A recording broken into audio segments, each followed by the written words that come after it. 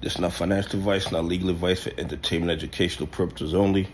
Please don't make any financial decision based on anything I say in these videos. Listen, the CFTC paid a whistleblower $1 million in a digital asset case. Now, paying whistleblowers is great because it gives them an incentive to snitch. But CFTC is not telling us what case this was. I'm going to tell you guys something, and this is just my opinion. CF, CFTC, SEC, DTCC, FINRA, these agencies only care about snitching and paying whistleblower money when the snitching stops one company from taking advantage of another company. If this whistleblowing scenario involved the CFTC protecting retail investors, pension funds, and institutions that follow the rules, they would be blasting this all over the place, letting us know that they're protecting retail investors, that they're protecting institutions that follow the rules, that they are protecting pension funds. But I believe, and this is just my opinion, that this whistleblower award that was paid, this was another company robbing, well, maybe not robbing, but taking advantage of another company. It was one big dog taking advantage of another big dog or something similar to that. When people whistleblow and the people losing money are retail investors, pension funds, and institutions that follow the rules, the SEC never follows up. They never investigate.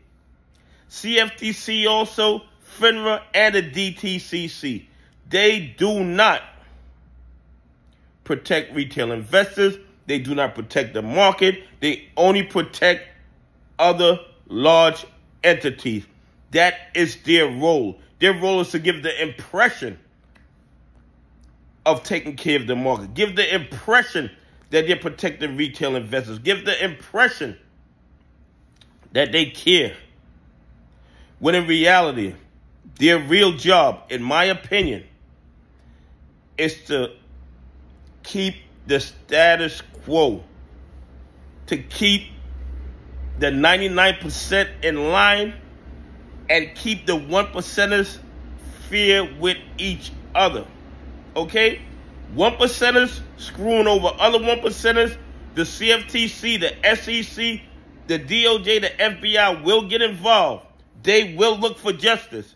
But these same bad actors robbing retail investors, pension funds, and institutions that follow the rules, there will be no investigations. There will be no whistleblower payoffs because they are not concerned. That is not their role. Their role is to make sure the 99% stay in their place and make sure the 1%ers play fair with other 1%ers. If we are losing money, nobody cares. Not the SEC, not the DOJ, not the FBI, not the CFTC. Anyway, please leave some comments. Tell me what you think. Do you think that this $1 million whistleblower payment was made to somebody who was snitching on a big actor robbing retail investors? Or do you think this was a big actor engaging in questionable activity with another big actor? Anyway, have a great day. God bless, and I appreciate y'all on this journey with me.